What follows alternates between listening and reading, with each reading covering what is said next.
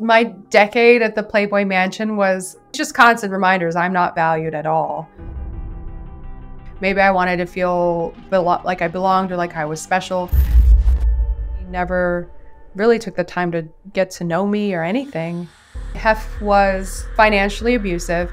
I found out that he got paid uh, $400,000 per episode of The Girls Next Door. Oh my God. I didn't get paid anything for it. He did that on purpose. It was never enough to leave. I ran away like the first attempt of getting married. I've never like defied him before that moment. You know, why do people take so long leaving abusive relationships? It's hard when the whole world is praising somebody. Crystal Hefner absolutely exploded into the world of media and pop culture via the Playboy Mansion at only 21 years old. And when Crystal turned 26, she married Playboy tycoon Hugh Hefner, who was at the time 86. And news of this wedding circulated to every corner of the globe. Crystal is not just the widow of Hugh, she is a world renowned model, an entrepreneur, and also has just released a tell all memoir titled Only Say Good Things, which is the truth about what really happened behind closed doors of the elusive Playboy Mansion. And finally, Crystal is reclaiming the one thing that she lost in her 20s her voice. Crystal, welcome to the podcast.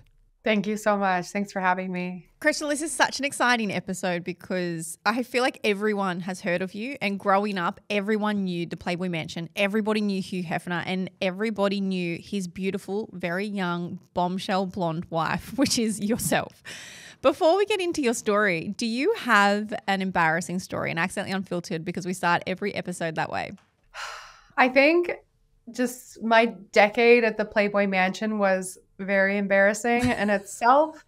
and especially when I think back to, you know, a lot of the stuff there, like how Hef was 60 years older than me. Even when I think back to the like the sex stuff, I know I'm like diving right into that, but that was embarrassing. It was embarrassing having like group sex with strangers in my 20s and that was just so embarrassing and not anything I would ever want to repeat ever again. I have so many questions around all of this because there's this bigger and broader conversation which I know we'll get into but this idea of like what you do and especially for in this day and age when everything is now in social media and online that the things you do in your 20s and like the digital footprint that you leave for yourself you may not feel the same way about that when you are in your 30s or your 40s looking back on that period of life. And obviously you speak now so candidly around the regrets you have the trauma you went through and trying to almost like re- not reinvent yourself but trying to make people realize that there is a very different version of who you are that exists. Can you tell us a little bit around what your life was like growing up and what led you to getting to the playboy mansion in the first place yeah yeah i think um well, Hef's secretary once said, you know, like Hef takes in the broken ones or the ones with the broken wings. And, you know, at first I thought that was like, oh, that's cute. But thinking about it more, it's like, yeah, he takes in women that are kind of broken. They come from broken homes. You know, I lost my dad when I was young, and then my mom kind of lost herself. So I felt a lot like really on my own.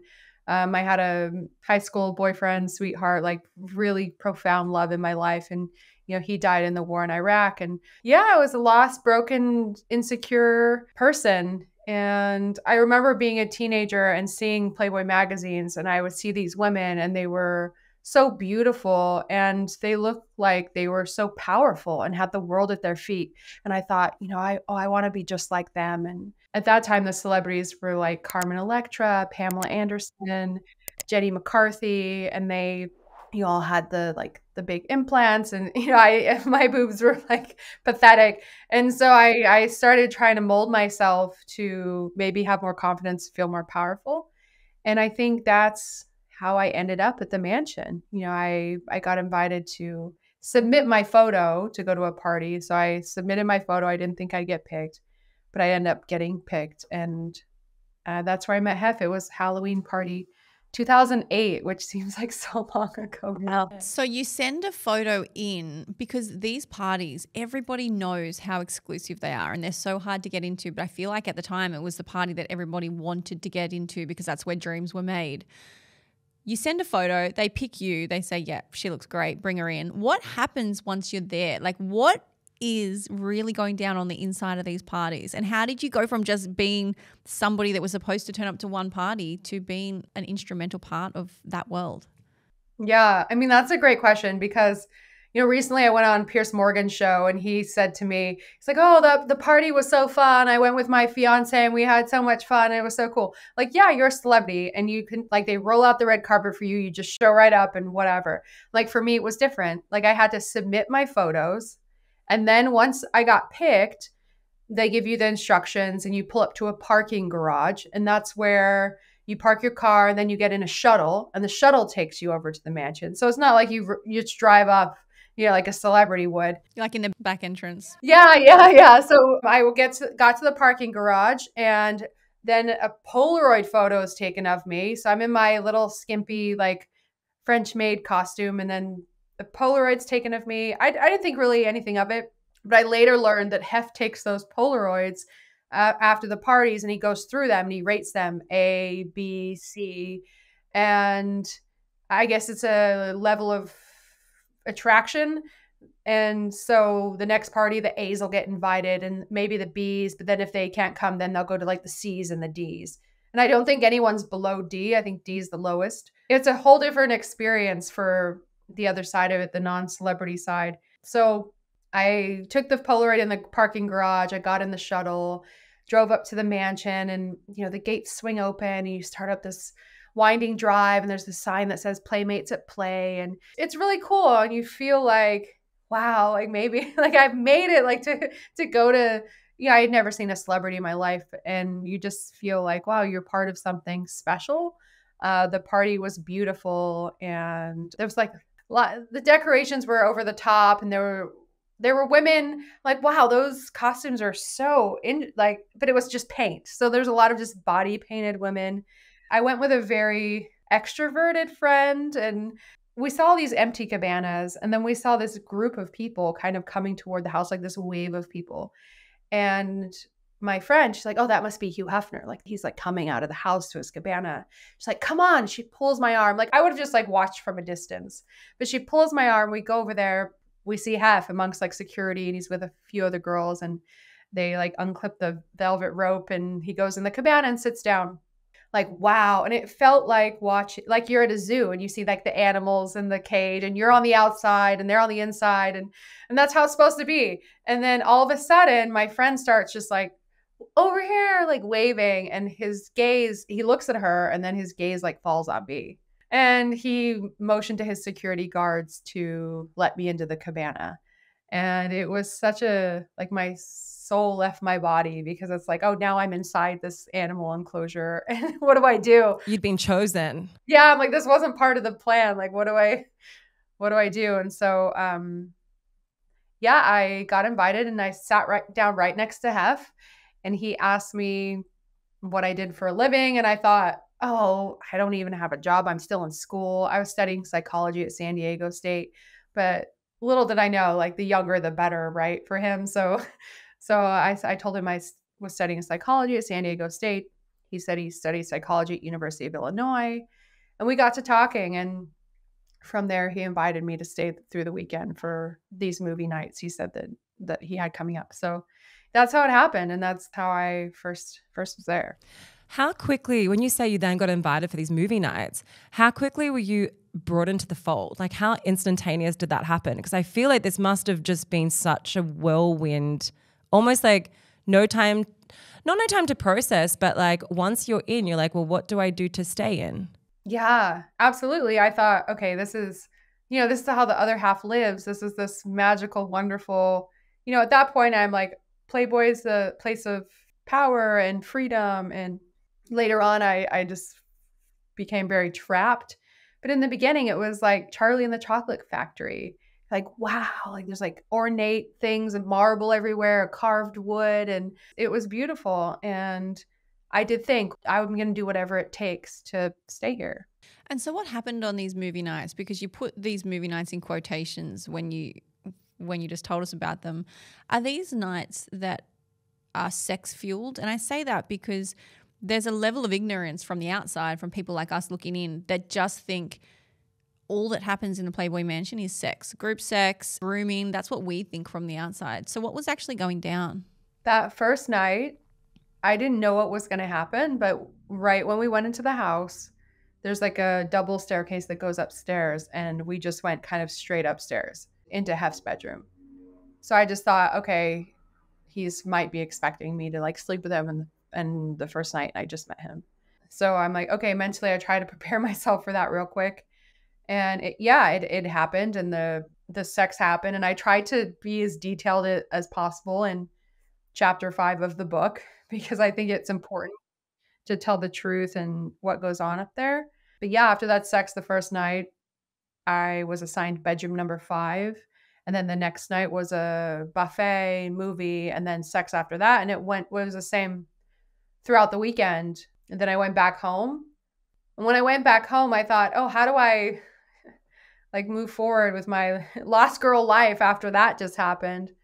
And then um hef called me like that monday night and asked me to move in. When you say that like how do i move on with my life? What were you thinking at that time. Like after this has happened, and even when you say I had to prepare myself to have sex with this man, which is sounds oh, fucking hideous in and of itself, but how did you grapple with what was going on in your life and almost make sense or reason of the fact that to live this life you're going to have to have a relationship with this man? Yeah i don't know. I, I guess everything everything has a price. So at first i was like okay i guess this just comes with it and you know, I, I could be okay with this. You know, maybe if it's not like an everyday thing, I could be okay with it. So I just started, that was when I first started like quietening down like the inner voice that's like, hey, something's wrong here. And I just uh, started stuffing that down. And um, yeah, I made myself okay with it because it's like I didn't really have anything else going in my life. And I had lost like this really big love that I had. So I just think I was probably the perfect candidate for the mansion. And what was the day to day like? You've been assigned bedroom number five, which means you're not the only person there. What does it look like in terms of how many people at this point, how many girlfriends are there? How many people are sharing Hef's life? Did you feel like you were friends with these women, but there was almost a competition to be the main girlfriend? Because I'm assuming if everybody's there, everybody wants to be sort of the top dog. What did it feel like in that moment? Yeah, I feel that you want to be the top dog because then you're the closest one to Hef. And the closest you are to him, the least chance, least likely chance you have of being kicked out. So I quickly tried to figure that out. And at the time, there were twins there Kristina and Karissa Shannon. They were only 19. Wow. Yeah, it was sad. I remember him like hugging them in his bed and like looking up because he had this big mirror above his bed and he's like, My babies. And he's like, has oh, one. so and they're sisters. It's like I'm still trying to wrap my head around that. Like they're having a really hard time. They just they were in rehab recently again and they're having a really hard time now in life. And just thinking that he did expect these girls, these sisters, to hook up with each other. Like and he didn't for a second think like okay i could be doing damage to these women. Like i think he was so selfish and so now i've learned narcissistic that he just didn't think of anybody but himself. It's also crazy that of the time it was such a pop culture moment as well. And i know it was your life but it just absolutely permeated the news in every way it's crazy that there wasn't more outrage. And if that was to happen now, people would say like fuck these girls are 19 years old. Like what are we doing? How are we how are we glorifying this lifestyle? But those questions weren't being asked at that time. They and if they were, it wasn't the loudest question and it wasn't the outrage wasn't there. It was more intrigue and curiosity than it was really this this question of toxicity. It's crazy to me because when I started feeling like, okay, something's a little bit wrong or off, but then on the outside, the media and the whole world is praising this man. They've put him on such a pedestal and he's an icon like globally. So it's it's it was strange for me because I started feeling trapped. I started feeling okay, something's not right here. And it's the gross imbalance of power. And when people are perceived as powerful, I think the media just I don't know, cowers to them. What were some of the the promises that he was making to the twins and to yourself and the other young women? Because there must have been something, a real allure, and it's not just the living in the mansion and it's not just the power. Was there, you know, promises of you'll never have to worry in your life? Were were you given whatever you wanted whenever you wanted? Was there an excessive amount of money heading into your bank accounts? Yeah, a lot of people, you know, I get all these things like gold digger or all these, you know, the whatever. Like, I'm like, I wanted whatever a different life than I had. You know, I just, maybe I wanted to find somewhere that I could really belong. So I never had a, you know, I was always on the move. My parents had never had any money. Maybe I wanted to feel belo- like I belonged or like I was special. But talking about money, Hef was I think about it now, and he was financially abusive. He would give us a thousand dollars every Friday. We would have to go ask him for it. So we'd have to find him in the house and be like, "Hey, Hef, like, can we have our allowance today?" And he'd go, "Oh, have you been good this week?" Like, just like Santa Claus. So embarrassing. And then we go. Yes, another embarrassing story. So we go. This is a, definitely an embarrassing story. Going into his room, asking him for this thousand dollars each, and he pulls out the little key out of his pocket and opens this cabinet and brings out uh, like envelope of money and then he would count 100 200 and then the, the next girl's pile 100 and then he'd put it all together and hand it to us. Yeah it's like oh have you paid enough attention to me this week? Have you done like have you been a good girl? Like here you go. And the money was it was never enough to leave because he did that on purpose. You know like let's give these girls just enough to where you know they need me and they're they're not going to have enough to leave but also, I can imagine that the lifestyle that you're living is also incredibly isolating. Like your entire community becomes the people who are within that house because everything gets smaller because there's so many requirements of being there. There's requirements of being available for media, there's requirements of being available for shoots, and also the requirements of being available to him whenever he wants you. Even though you were already in a situation where you didn't have your family and your boyfriend who'd passed away, but you did you lose your other friends, your other connections? That were around you as support systems before going in? Yeah, I, I felt very lonely. You know, the, the twins obviously didn't like me because I became the number one girlfriend. They were so checked out that they eventually left. And yeah, it proved to be too hard for them. But yeah, I felt felt very isolating and lonely and lots of anxiety, almost like paranoia. Like I had this little room that was like an offshoot of Hef's closet and you know, there's a big gap under the door and you would see just like shadows of people like walking by. So I'm like, oh, is the security like listening to me? So I was always, sometimes I would just text my mom instead of calling her because I would be afraid that like my someone would be listening to me. What did your mom think of you doing this at the time? At first, she liked coming up to the parties, and mm. Hef and I would go down to the parties not for long and go back up. And then my mom would stay down there, and she liked it. And I think I didn't really tell her the extent of what went on there. I don't even know if she thought we like had sex with him. Like I don't think she knew. And because my mom, she's in real estate, so I would just she would come over and I talked to her about the house and it's like a you know, she's British, so we talk about it's like a British style house and I would just not be fully open with her. And so how long were you a girlfriend for before you got married to Hef? Gosh, we got married he gave me a ring in 2010, I think, the very end and Christmas Eve, or maybe it was 2011 at the. I don't remember now. It's weird because I mm. like part of me is just trying to forget. I mean, I heard you speak about something, and I can't remember whether I read it or not, but I put it down because I was like, it was such a powerful way of describing an engagement because normally you'd speak about an engagement and, and most people have a beautiful story around how they were asked to be married. And you wrote this you said, I hope it fits, was all Hefner said. He never asked me to marry him. And you never said yes. It wasn't a question, it wasn't a choice. And then it went on to say that it was transactional, as all things were to Hugh. Wow. Yeah. Yeah. So that's what I said because it definitely rings true. He handed me a ring. He said that he hopes it fits, which it didn't. It was too big. But, you know, and then everyone starts taking pictures. There's a videographer there. I didn't really have time to think about it. And later on, I reflected a bit and I just thought, okay, like if I say no to him, then I probably have to leave tomorrow. I'm not prepared for that. But if I stay here, then maybe he wants a good PR story because it's the end of his life.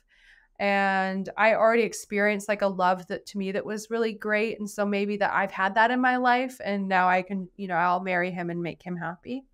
I think I was very much a a people pleaser when it came to like Hef's needs. Was there any part of you in this whole experience that felt as though you did love him? I think early on when he expected me to have sex with like multiple people in the room, I'm like, how can this guy really love me? And so from there, I put like a, and the age difference. Yeah, it got hard. I ran away like the first attempt of getting married. I ran because we had filmed the Girls Next Door show and I found out that he got paid uh, $400,000 per episode of the Girls Next Door. And it's not something I really wanted. I never even watched the show before. And he just said, Oh, we're doing the show, me and the twins. And I didn't get paid anything for it. So he got $400,000 an episode and you got nothing. Yeah. And then people will be like, Oh, you used him for whatever. I'm like, Oh, cool. Like, I think we all got used. Yeah. if he, if I used him, then he used us too. Like, Crystal, how is it even possible from a production company for one person to sign a contract that affects multiple other people? I mean, when you're not the property of someone, they don't have ownership over you, that you are signing, or did you have to sign a contract? Like, how did it work that you were in a situation where someone earns $400,000 and you earn nothing? That's a great question. And how they get away with it is I was asked to sign a talent release. So basically, I just, it just, I sign that I release that they can use my like name and likeness on camera. And it was never disclosed how much he was earning from this. No, I, I would overhear because he would do a lot of his calls on speakerphone, and since my, my like room area is part of his closet, I would overhear him talking to the producer of the Girls Next Door and talk about how they're going to make four hundred thousand and they're trying to get E to up it, and and I just thought, uh, but at that time I'm such an idiot because I'm like, oh, I should just be so lucky to be here, and like I'm the chosen one to like be on this show. And but also, you're a young woman that I mean, you didn't, as far as I'm aware, you you were in the middle of a degree, so you didn't even finish that, and then you got extracted into this world where you didn't have any control or power. You'd never been in that world. So you're not to know that signing a talent Totally. release is signing your life away. Like that's something that they should be educating you on and they didn't, which is also a form of control. You just said something that sort of stopped me for a second. I know a lot of people will be interested in it. You said he couldn't have loved me because he, you know, used to make us all have sex together or watch or what were those nights like when it wasn't just you and Hef? And did you ever feel comfortable like you wanted to be doing it or did you always just feel like it was an expectation and if you didn't perform you would be kicked out it was definitely an expectation. It wasn't something I ever enjoyed. You know, it's really awkward and uncomfortable being around. You know, your sex is a very intimate thing, but then you're there with uh, people you don't really know. And, you know, I never really felt comfortable around Hef completely. He never really took the time to get to know me or anything. So having that dynamic plus a bunch of strangers and we're all like having to be naked with each other it's uh yeah it's it's embarrassing I imagine you must learn to disassociate. We hear about this idea of just like when you said earlier on this idea of just pushing your thoughts down, like you would get to a point almost where you disassociate from the person that you actually are in order to do something so that doesn't completely traumatize you. Absolutely and i think that's when i first started doing like dissociating. I found myself later like when i would in the recent past like go on dates. Like oh i i went on a, a first date and we like walked around the neighborhood and and then i get i get home and i'm like i don't remember anything that we talked about i don't i just completely dissociated. And it's sad because i think it started there. You hear people talk about that happening but not even being connected to yourself and just going somewhere else in your mind it, it is a it's a trauma response and it's so sad And when you say you ran away, so you found out this information about the inequality in the money and filming, and you ran away from the wedding essentially. What happened? Well, I was upset about the girls next door thing. Not upset, but just I realized like, okay, maybe he doesn't like it's just constant reminders I'm not valued at all. And when he gave me the ring, when he asked me if it fits, there were cameras and video people, people that I didn't recognize, not the regular ones. So I'm like, oh, okay. And I realized he signed on with the Girls Next Door producer to do a show called Marrying Hef. And it was a two hour wedding special, uh, I believe on like Lifetime TV. I don't know about our wedding, like two hour special. It was to follow me, like going to the flower mart and picking out stuff and getting organized. And I found out that Hef was to make $800,000 for the two hour special. He had come into the uh, little area that I lived in in the closet and he brought me a like paper paperwork and it was like a he was giving me a talent fee of $2500 and I had overheard him say that he was pay, getting paid $800,000 and I finally stood up for myself cuz I'm I'm so introverted.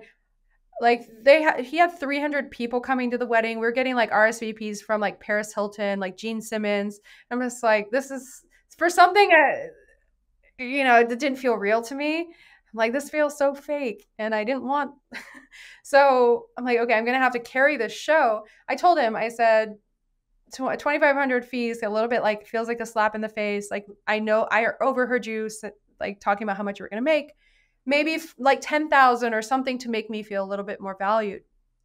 And he responded by saying, What are you in this for? And it took me back to like all the PTSD, all the gold digger comments by the press and all this stuff. And so I like ran out of the vanity. I've never like defied him before that moment. I ran out of the vanity. I ran out the mansion and down the back drive. And I was going to go to the park. There's a nice park close by. And as I was going down the back drive, there's a gate and there's also a security booth. Security will see me on the camera coming down the drive and they'll open the gate for me. So as I'm going down, the gate isn't opening. Like, oh, that's weird. Is no one in the booth? And I over like I heard a speakerphone. I heard Hef's voice, and he said, "If Crystal tries to leave, detain her." and oh my god, I'm like, okay, this gate is not opening. Like I'm actually trapped here. And so I thought to myself, okay, I, I need a better way to like get out of here. And so I just like put my head down, walked back into the house. Yeah, I plotted my escape because I didn't. I did leave in 2011.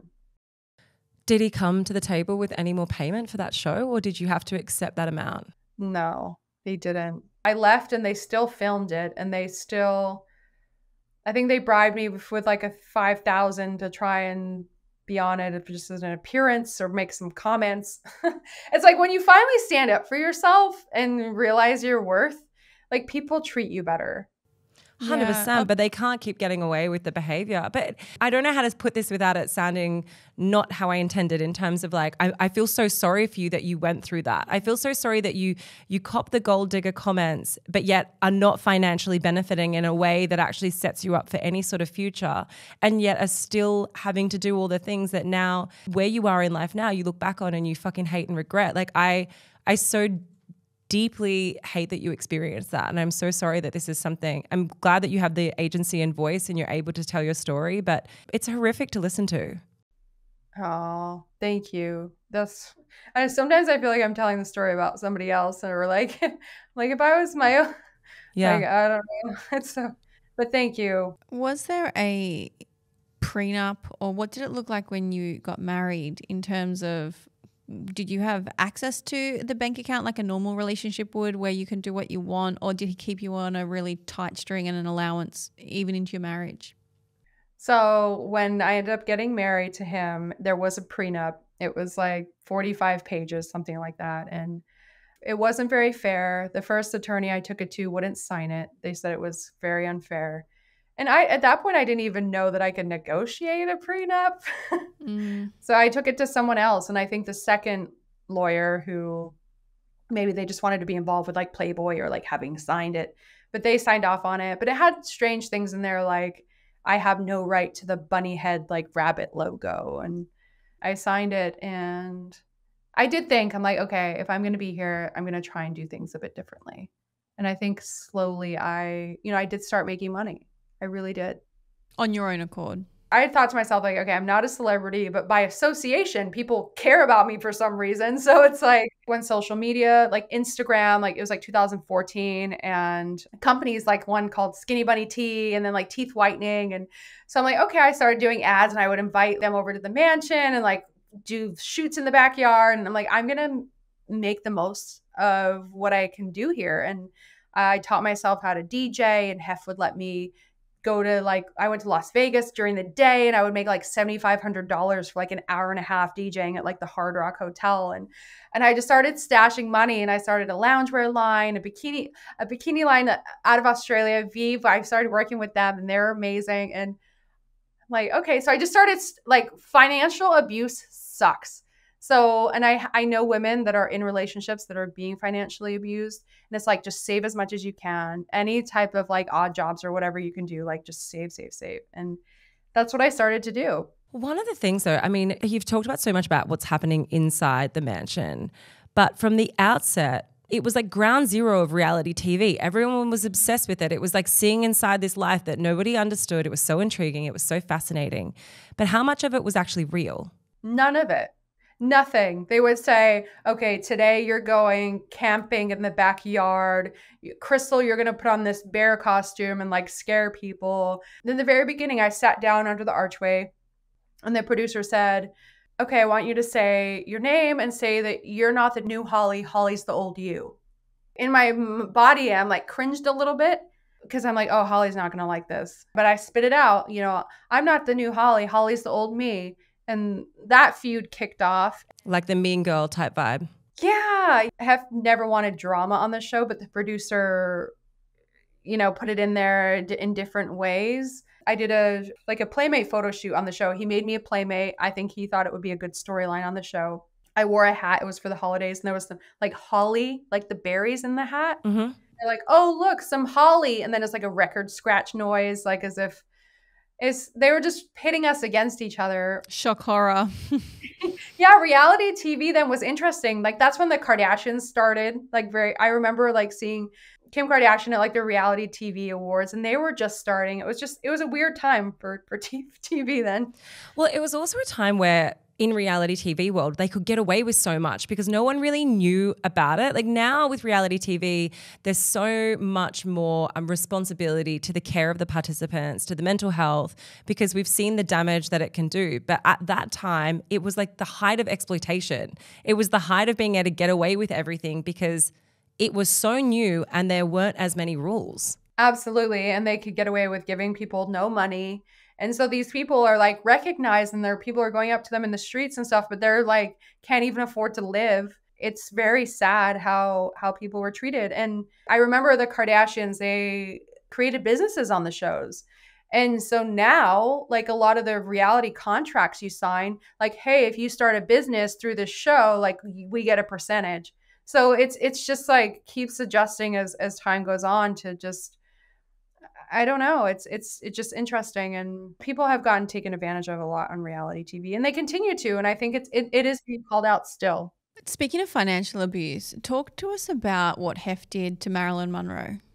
Oh, that is hard for me because his whole empire was started with calendar photos of Marilyn Monroe. He bought calendar photos that people heard of, but they had never seen of Marilyn Monroe. She was nude.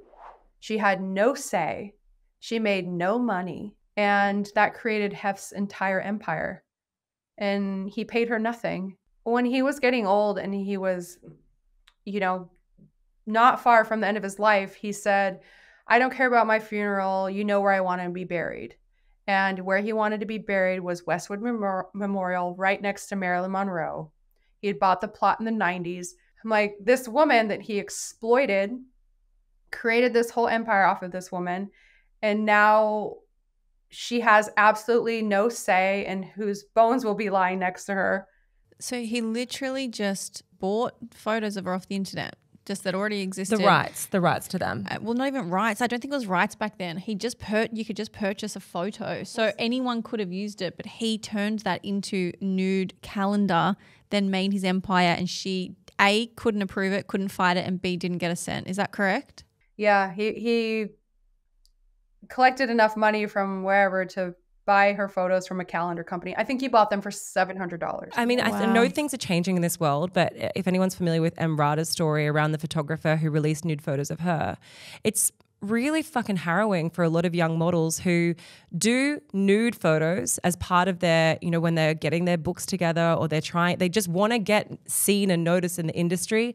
And so they do what they might think are artistic photos, but they're probably more nude than what they thought they were going to be. And then the person who owns the royalties to those photos, the rights to those photos, is the photographer. It's never the model. They sign release forms that sign those things away.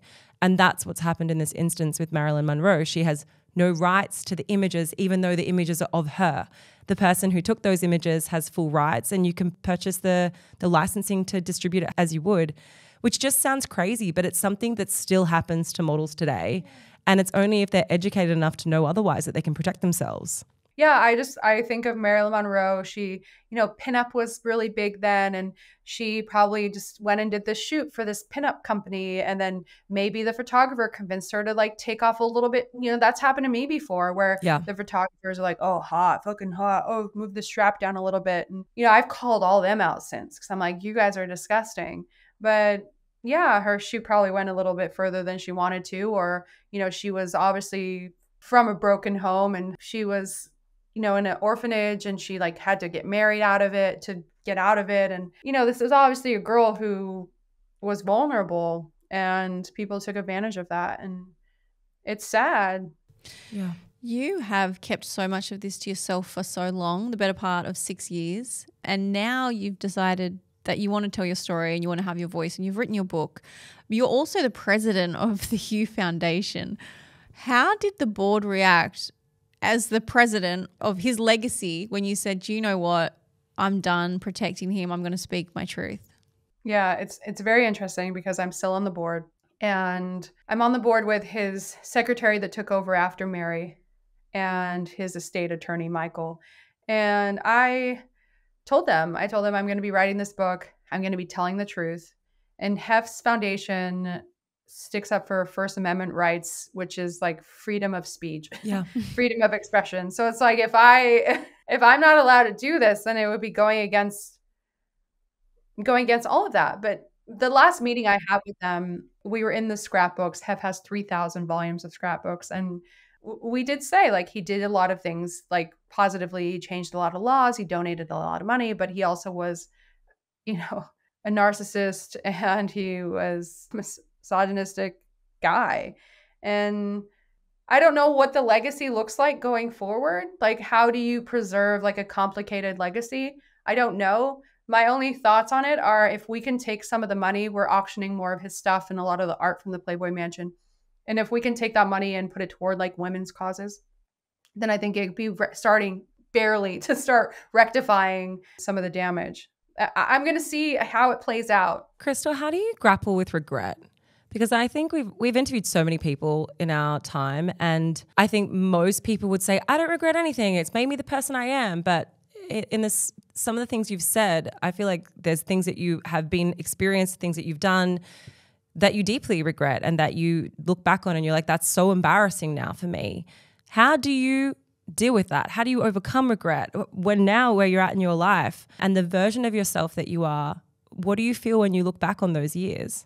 That decade of my life was the whole thing was embarrassing. Like I am so embarrassed to have been part of that and played a role there. But yeah, looking back, sorry, like, um, can you? no, it's like it's hard. I'm very hard on myself, and to this day, and I'm still trying to find my voice. I'm still trying to you know, I started my own podcast and I got all these horrible comments and like, oh, I counted the time she said the word like or the word times. Like, I'm just trying my best here. And if you don't like it too, I had to disable all my comments on everything. Like, if you don't like me, just please, like, I can't handle it. Just leave me alone. So I, I try uh, and not give myself such a hard time. And I do have friends that say, you know, you are really hard on yourself and you need to give yourself grace, like give yourself more grace. And also forgiveness. Like you're in your 20s, you're in your 20s. That's when most people make fucking crazy, terrible decisions uh, in their relationships, in all aspects of life. And I think, you know, when you come from someone who has had the background that you've had, but ends up in a world that is so otherworldly. You were the victim in this in a lot of ways. And I think that the society likes to say, yeah, but you're old enough, you made a choice. Like you were this, you were that. But then when you hear this your side of the story, there's so much more compassion for why you would end up making the decisions that you made. What do you want to say to people that say you could have just left? Why didn't you leave? Absolutely. And I think that's a question that I get asked probably most. Yeah. And, you know, when I think about it, it's like, why, you know, why do people take so long leaving abusive relationships? You know, it's like, oh, the people are nice or the people, you know, you try and see the good side. You're like, no, this is a person that's bad, but sometimes good. Eh, but it's, it's a bad person that's sometimes good. And you just try and see the good parts. And especially when it's someone who's also so praised by other people. Yeah. You know, I have friends that are in bad relationships and some of these guys are like praised by the community or donate all this money and they you know so it's it's hard when the whole world is praising somebody and you're like okay what's wrong with me? I need to be better in this and i don't know i was just a, a broken soul that just was trying to have a better life for herself in whatever way and yeah and it, i just got stuck in some darkness for a long time and when i wrote this book i had no idea how it would be received i literally had no idea but after doing therapy i started with stories and that you know and crafted into a book and i just wanted to tell the truth and i wanted to dive into the psychology aspect like you know, why did Hef become who he became? Like he obviously had a broken childhood as well, just like I did. And yeah, there's there's reasons everything happens. And I really wrote the book to to help other people and to tell the story. And I got an overwhelming response. And one of my favorite responses was the women were the women that said, "Oh, I wanted to be part of Playboy," or "I wanted that was my dream too." And as I sit here in my regular house and wherever, like I'm glad I didn't go for it. So thank you, and and and I appreciate that. What's your life look like now? Oh, so much better.